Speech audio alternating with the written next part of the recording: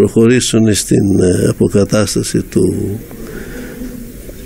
του κουβουκλίου γίνονται οι μελέτες και εφήρμοσαν την σύγχρονη ε, τεχνολογία γεωραντάρ και άλλου είδους αυτές ε, εφαρμογές για να δουν ακριβώς τι συμβαίνει ε, εντός του βράχου, ε, εντός του κουβουκλίου αλλά και υπογείως.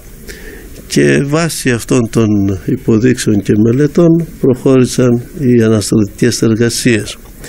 Στη δεύτερη φάση όταν πλέον οι εργασίες έχουν προχωρήσει και έχουν ε, καθαρίσει το βράχο, έχουν αποκαταστήσει αρκετά μέρη του ε, κουβουκλίου ε, πλέον έρχονται αντιμέτωποι με αυτόν τον βράχο τον ίδιο.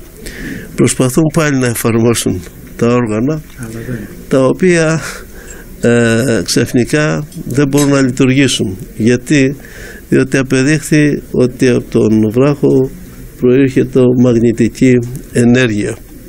Η ορολογία δεν είναι δική μου εγώ δεν είμαι αρχιτέκτον λοιπόν ε, εκείνο το οποίο βέβαια συγκλώνησε τους πάντας ήταν όταν ε, προσπάθησαν να κάνουν μια εφαρμογή με τα ίδια μηχανήματα, την ίδια προκεχωρημένη τεχνολογία επί του τάφου του Χριστού, του Αρκοσολίου. Εκεί πλέον κατεστράφησαν όλα τα όργανα τα οποία τώρα πρέπει να φέρουμε πάλι πίσω στην Αθήνα. Για πρώτη φορά